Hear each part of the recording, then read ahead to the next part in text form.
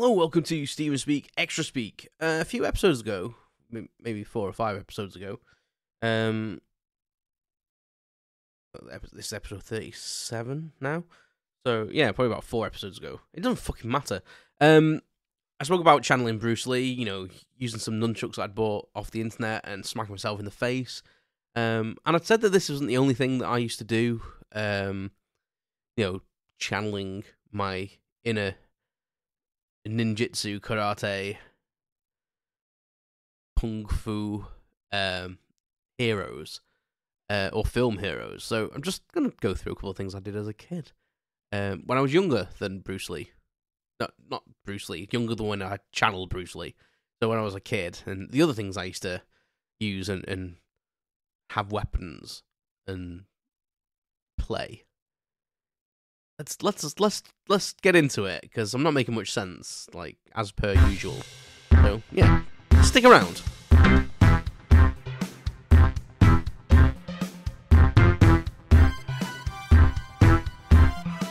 Welcome to Stephen Speak Extra Speak. A little more prattle on everything and nothing.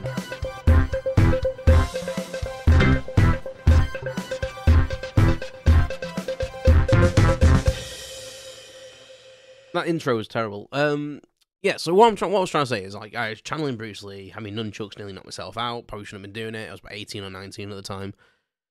Um, never used them again because I literally thought I could kill myself. Like I proper knocked myself out. Go and listen to that episode. It was it it, it was a bad time. Um, but I, I hinted at in that episode that it wasn't the first time I'd done stuff like that. And as a kid, you know, you, you see people on TV and you see your heroes and and fictional characters and uh, you know, you, you you reenact things like you know, I know it says on WWE, or you shouldn't do anything that we do. We're professionals, blah blah. But you still three mate through a table every so often, just you know, because it's cool. Uh, please don't do that. Um, not that I ever have. Um, but yeah, but you do them things because imitation is something that humans do. Um, but when I was a kid, I used to love like the, the Teenage Mutant Ninja Turtles, and I still do. Um, I loved Indiana Jones. Uh, these are the things that you know. Um, I was into. I loved swash swashbuckling films. I loved ninja films. I loved. Um, I loved, loved the Lone Ranger. I used to love watching the Lone Ranger and cowboy films. So these are the things I used to reenact. So like obviously cowboy stuff, like with guns and pretend I was a cowboy. My my, my imagination is is it, it doesn't need much encouragement. Uh, and when I was a kid, I could play with hours for for hours on my own. You know, imagining other characters and interacting and, and like imaginary friends really because I used to play alone quite a lot because I kind of preferred it because I was in charge of everything. Um, I was in charge of everything that I could imagine. I didn't have to make um allowances for another person joining me. Although I did like playing with friends, but I playing with friends was always something fixed, like a computer game or a board game where there was rules. Uh, whereas imagination stuff was me. I, I I preferred that just to be me because then I could dictate the way things went. Because basically, I, I believe that most people are wrong when they imagine stuff, so they're not doing the right thing. And I hate it when they go off on a tangent because I'm like, you know, that's not fitting in with my world. That's not what I'm imagining. Shut up and go away. I'll do it myself. Uh, and I'm like that with a lot of things, to be honest. Uh, it makes me sound like an absolute cock, but uh, I'm not really. I'm quite a nice chap. Well, I I see. I I think I'm all right. I don't think I'm that bad. Hopefully, people would agree. Um. Anyway, Turtles, Indiana Jones, um, cowboy films. Cowboy films. You normally have a prop. Normally a cowboy pistol, isn't it? Let's face it. A six shooter. I had a frigging cracking shotgun when I was a kid, which was amazing. And uh, I also had um some ninja throwing stars uh, that my mum bought me as a set. I got them taken off me though because I threw them at my brother and hit him in the eye. We're not the best toy really. Um, but I used to I used to be ace at throwing them. To be fair, I used to practice loads. Uh, really in self defense because he could be a bit of a bastard to me. Um, but like the biggest thing I used to use was a, a stale of a of a of a brush, so just the the wooden, uh, you know, long pole basically, and pretend it was Donatello from the Turtles. Um, didn't really have any swords when I was a kid. I had a, I had like an old, like a cheap replica, I think, of a, a Thundercat sword. I think it was meant to be a Thundercat sword, but it was really crap. More, more like a Camelot sword, but it was meant to be Thundercats. Um, I had I had a proper one as well, but I never used to use that for anything because I was has to stay pristine. Um, but yeah, I this. I used to use my old dad, my dad's old brush heads. Uh, no, take the brush head off and then just use the stale. And um, that's a weird name, isn't it? Though I, I never knew for years that that's what they called the bloody handle of a brush. It's mad stale. Anyway, um, but yeah, I was Donatello for that. I used to swing it around, and I got pretty good at like you know doing some tricks and stuff. Didn't ever hit myself in the head with that, although it probably was quite dangerous because I was quite short. It took a lot of extra extra effort on my part.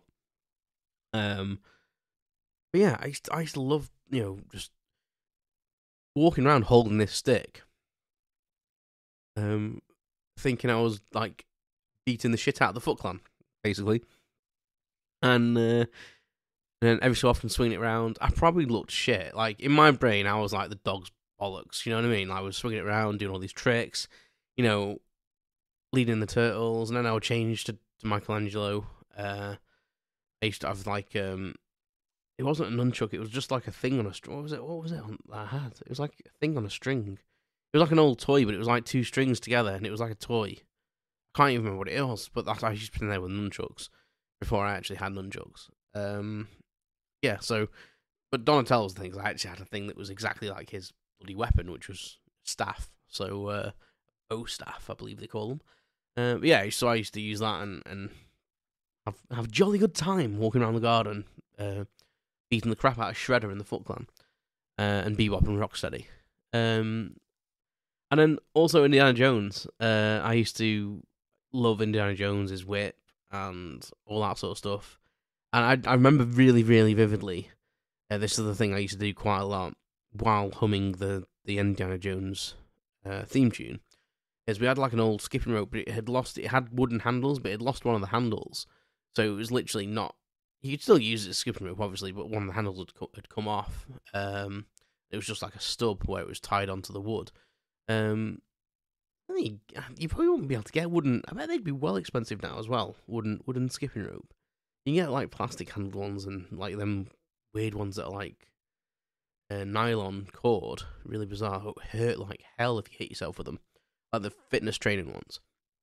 Um, but like this was like a proper proper rope and wooden handles. But say, think with the abuse, my brother, my brother and uh, made give them over the ears, like throw them into the back of the shed and just drop them and stuff. One of them, say, one of the handles would come off, but that was my whip because obviously it had one handle and it was just rope on the end. So that was my Indiana Jones whip. I used to walk around. I used to tuck it into my pants as if you know if it was on my belt.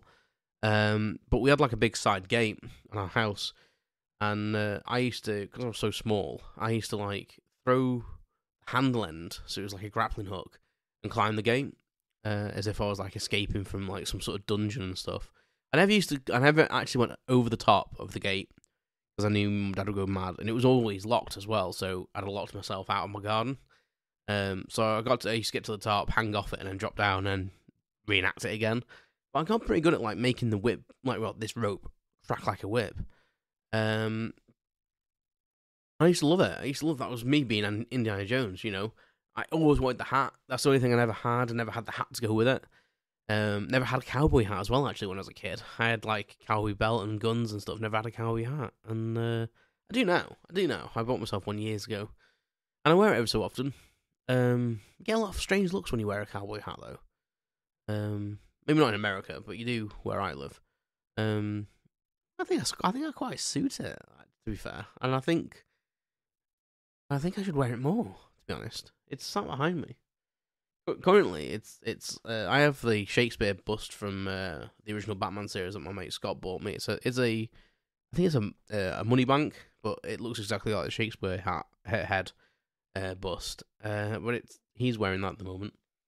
Uh, but I should wear it more. It's like a waxed Stetson.